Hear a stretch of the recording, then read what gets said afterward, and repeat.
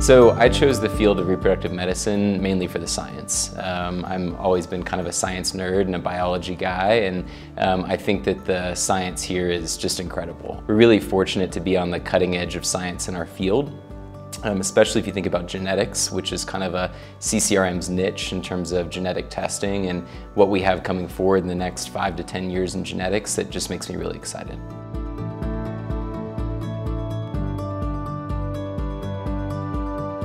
Interactions with patients. So I would say that obviously when the patients get pregnant, that's really fun. Um, but you know, even when patients don't have a good outcome, you know, I think uh, we typically get really good feedback from them of, uh, you know, we appreciate you being here with us every step along the way.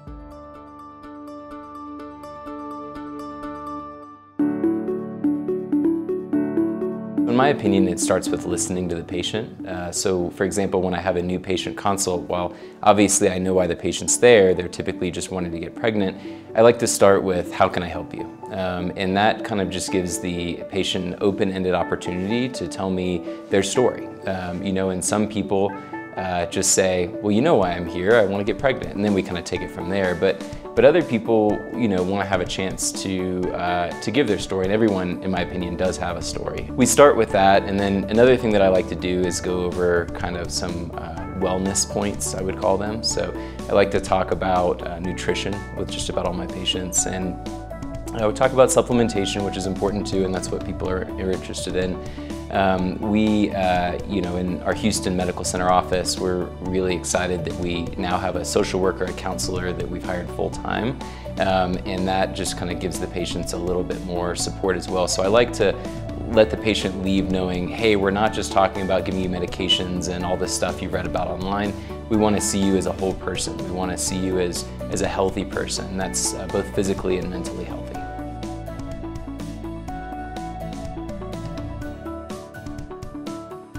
I'd like to hope that it's listening. Uh, you know, you never quite know, but um, I, uh, I, I, kind of pride myself on trying to listen to the patient and, and feel uh, empathy for them and, and, you know, not see them as, you know, just uh, the next person through the door. And, um, you know, I, I really feel that uh, most of our patients have been through a lot. You know, they, um, I'm fortunate my wife's a psychiatrist, so we have this kind of back and forth all the time. And, and she, you know, she even feels that, that our patients, uh, you know, the stress levels and the trauma that they've gone through typically by the time they get to us is, is really difficult. So, um, you know, I think listening to them and, and just being empathetic to what they've gone through before just jumping right into the plan is a, is a really important thing.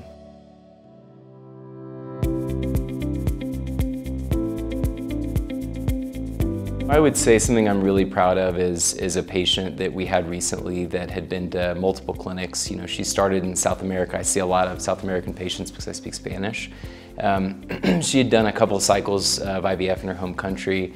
She came to Houston and uh, in total had done 12 uh, IVF stimulations, fresh stimulations, um, with uh, dozens of embryos implanted and had never had a positive pregnancy test. And we were really fortunate uh, this year that we put her through one cycle at CCRM Houston, transferred one embryo, and she got pregnant. And honestly, just continues to stop by the office. She's probably 25 weeks pregnant now, and she'll drop in every three to four weeks just to say hi and give everyone hugs. And so I think that was really cool.